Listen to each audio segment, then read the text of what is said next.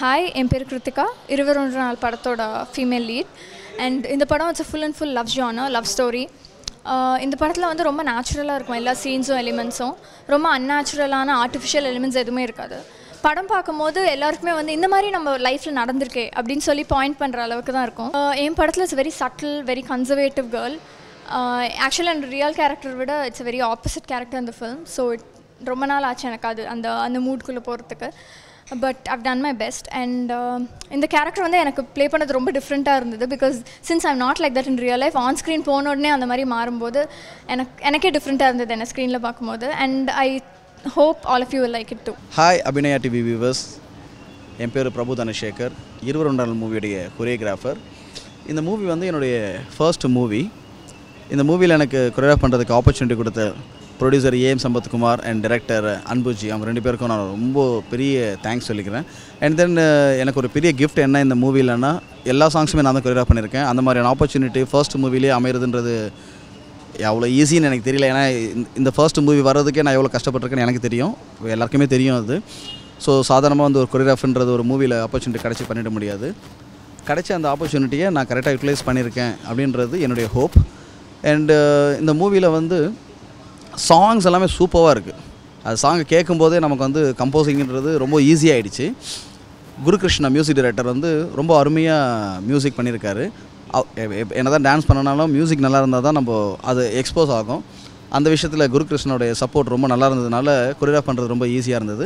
And then choreograph பண்ண சாங்ஸை வந்து shoot பண்ணணும். அதுக்கு ஸ்பாட்டில் ஷூட் பண்ணும்போது கேமராமேன் சப்போர்ட்டுன்றது ரொம்ப ரொம்ப இம்பார்ட்டண்ட் குமார் ஸ்ரீதருடைய கேமரா ஹேண்டிலிங் ரொம்ப சாட்டிஸ்ஃபைடாக இருந்தது. நமக்கு எந்த விதமான டிஸ்டர்பன்ஸும் இல்லாமல் ரொம்ப கிளியராக அதாவது எப்படின்னா நம்ம நிறைய படம் ஒர்க் பண்ணுன்ற ஃபீலே வந்து அதில் கிடச்சிடுச்சு. அண்ட் தென் என்னுடைய special thanks to the hero Prabhu.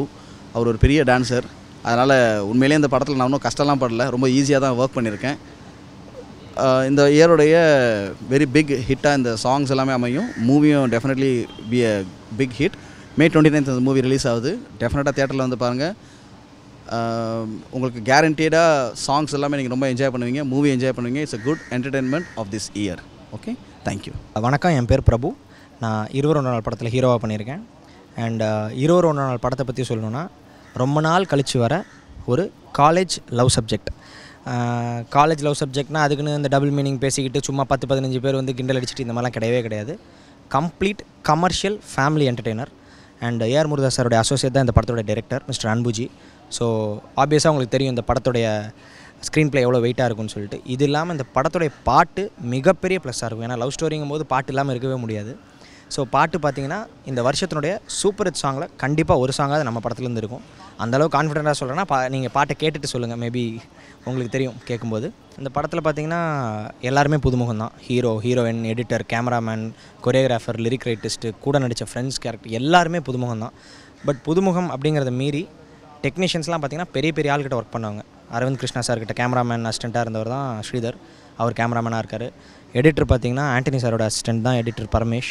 So இந்த மாதிரி எல்லாமே பெரிய பெரிய ஆளுங்கிட்ட ஒர்க் பண்ணவங்க தான். ஸோ எல்லாருமே ஒரு டீமாக ஃபார்ம் ஆகிருக்கும் ஸோ இந்த டீமை கண்டிப்பாக வரவேற்பீங்கன்னு நினைக்கிறேன்.